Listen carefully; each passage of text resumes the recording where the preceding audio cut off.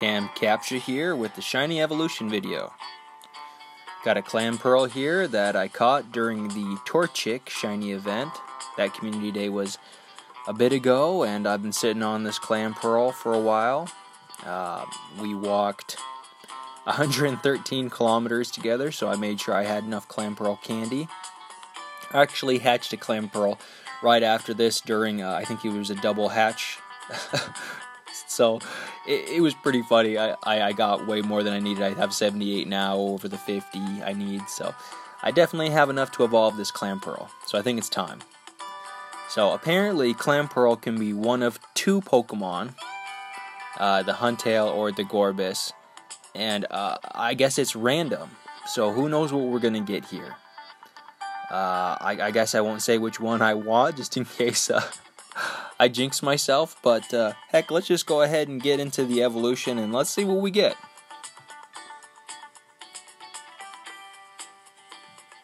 Alright, if you're hoping for uh, a Gorebyss or a Huntail, now's the time to cross your fingers.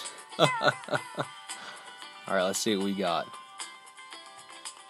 Alright, I'll go ahead and be honest, this is the one I wanted.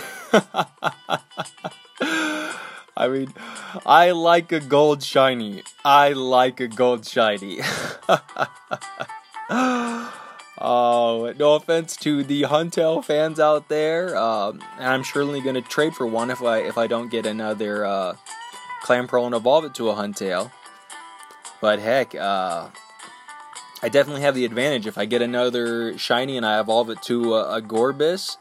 Uh, I'm pretty sure somebody would trade for the Huntail.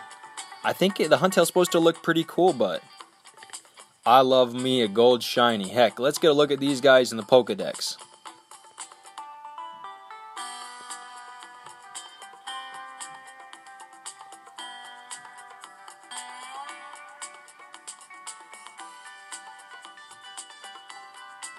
Thought it was right about here. All right. So there's the Clamperl, The normal one. Pretty cute looking Pokemon. I remember seeing this guy and just being surprised as heck. So it, it's got the purple shell, and instead of having that pink little bit in the middle, it's got a gold little bit. So that's pretty darn cute.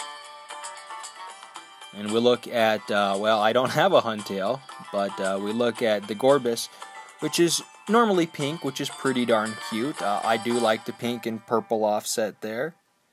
Nothing wrong with that. But looking at the uh, looking at the shiny, heck, that is that's a good looking shiny. Doesn't look to have changed too much as far as the uh, purple bits on the pink one.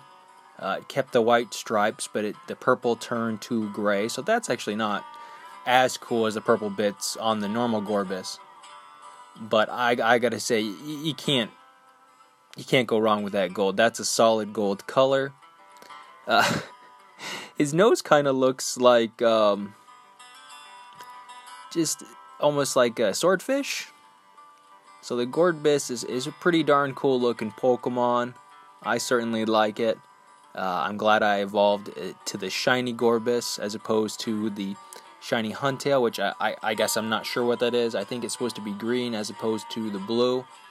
But I definitely prefer uh, this gold just because the Gorebyss is kind of cooler looking, in my opinion. Um, and uh, honestly, this Gorebyss, if you kind of look at him the right way, he looks like one of those uh, lemon drop guys from Adventure Time. oh, heck. Well, I, I guess I just got to go out there and try to catch another Clamperl. Alright, guys, let's go out there and be our very best. I'll see you in the next one. Till next time.